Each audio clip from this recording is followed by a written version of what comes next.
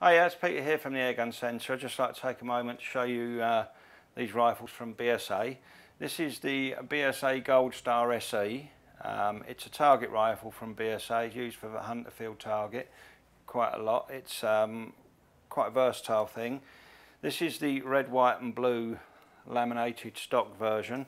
It also comes in your walnut, um, which is quite nice. It also comes in a third finish as well, the black pepper. I don't have that at the moment in the Goldstar, but the black pepper looks like this. So that's the kind of finish, if you imagine that like that. So you've got three, three different finishes. Um, the rifle itself is a regulated rifle. They come in two formats.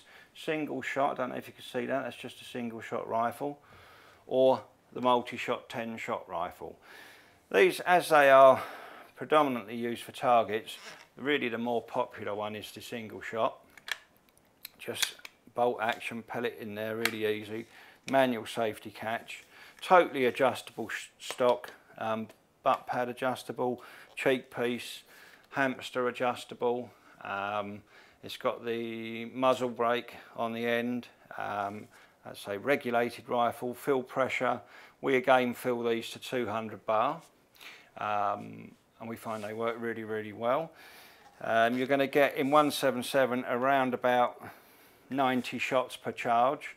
Um, a really, really nice match style adjustable trigger blade, really good trigger from BSA.